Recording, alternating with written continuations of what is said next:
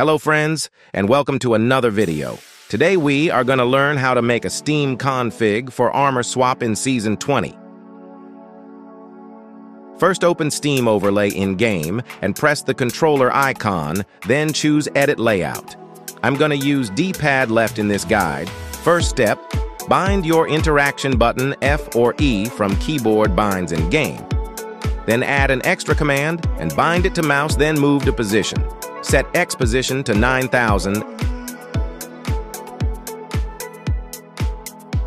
and Y position to 24535 and hit confirm. Add an extra command and bind it to left mouse click. After you have done that, change all the binds from regular press to long press.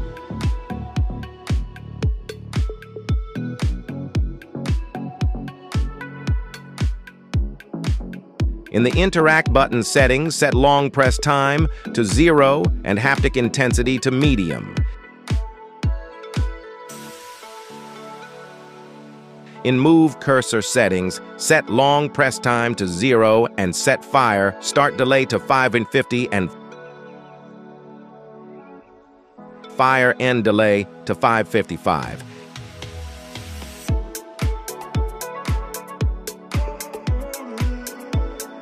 In the left mouse, click Set Long Press Time to 0 and Set Fire Start Delay to 5 and 60. Now double check the settings to make sure everything is good.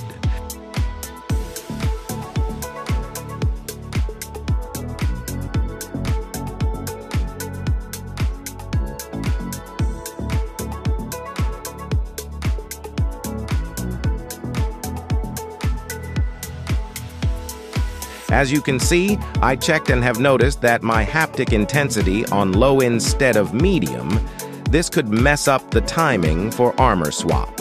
Now let's go back to the game. Holding left D-pad will open the death box and pick up armor swap. For me, I'm using ultra-wide monitor with 110 FOV. Different resolution and FOV will change the armor position, so you need to change the number X and Y in mouse position. Also for armor swap to work, you need to hold the button when the interact icon is showing, or you will mess up the swap timing. For this season, armor swap is between car and flatline. Yours might be different depending on your resolution. Open back the Steam config, press on Move Cursor, and start making some changes till you get it right. You can use manually select position to do so. Put your finger on the monitor where you want the cursor to hit, then maximize the window for mouse position. To fit the whole screen, press Start, and it will start recording. Click using the mouse under your finger to register mouse position. Now you can pick up armor swap mid-fights really fast. See ya in new video. Peace out.